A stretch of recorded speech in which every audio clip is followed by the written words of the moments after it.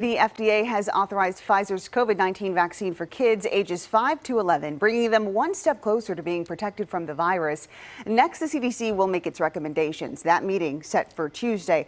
But when the approval comes, will parents rush to get the shot for their kids? KTVU's Amanda Quintana joins us live with why some parents may be hesitant.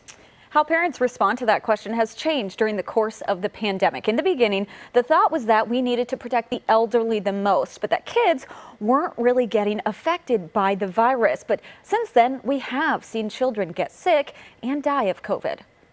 From the very beginning of the pandemic, we heard a lot of bad information that children don't get infected, or that they don't get symptoms, or that they don't spread to others. And all of those are incorrect. It is hospitalizing thousands of children in the US alone, we shouldn't have children in the hospital at all from a preventable disease like this. And it is now preventable through vaccination.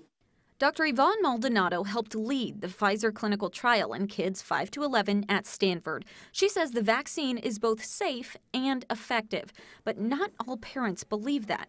A new survey by the Kaiser Family Foundation shows that parents of 5 to 11 year olds are almost evenly split into thirds. About a third say they definitely won't get their kids vaccinated, a little less than a third will do it right away, and more than a third will wait and see. Those kids, though, are usually safe, are still serving as vectors. So they can transmit this very transmissible variant and basically the issue doesn't go away. Dr. Vanila Singh says even though severe COVID cases are rare in kids, from a public health perspective, kids are part of society, and we need them to contribute to our immunity in order to move past this. Still, she understands parents' concerns. Yes, the more vaccinations, the better, but I don't necessarily support forcing parents or making them feel forced because that has really this undesirable effect, which we've seen. The KFF survey found some of the biggest worries parents have are about long term and serious side effects and impacts on their child's fertility,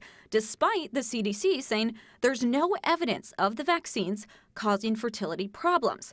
Dr. Maldonado says misinformation is causing a lot of this fear. I think we need to make sure at a global level that companies uh, that put out social media are um, really responsible for stopping this misinformation that's going out.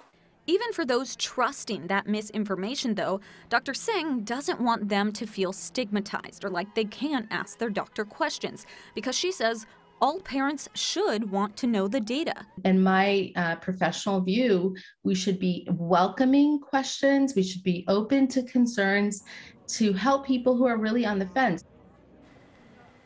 The main message from both of these doctors is talk to your pediatrician. They know you, they know your family, and they can answer your questions honestly. Now that the FDA has approved this, pediatricians are going to have access to all of the data in the trial so that they can put it into context for you.